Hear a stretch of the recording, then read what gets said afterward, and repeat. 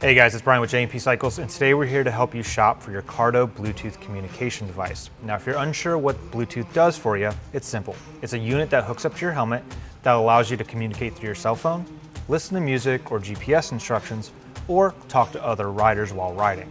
Now, I have three options for you, and it goes from good, better, best. And it all fits into what your needs are. If it's simple and you just want to listen to music or take phone calls, that's the good.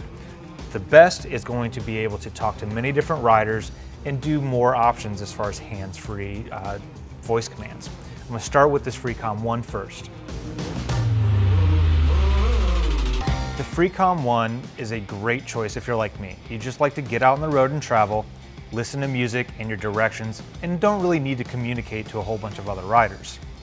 This has a 13 hour talk time, so that's really long compared to other devices.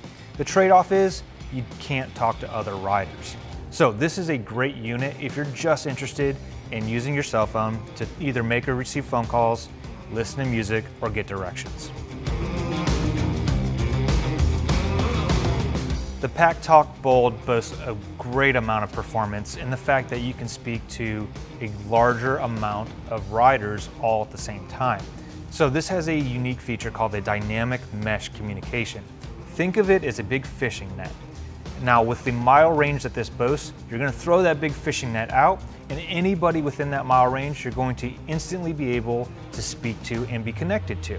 This is really great if you're riding in a pack or if you're out riding and want to meet up with new riders to speak to and ride with. It is voice operated as well, so you could say, hey Cardo, and make a phone call or toggle through your menu options. If you don't like the voice operated feature, this has a really easy roller here to manipulate with a gloved hand. A great feature about this too is that it boasts a 13 hour battery life. So whether you're talking to a group or just listening to music on your own, it's gonna last you for a full day worth of riding.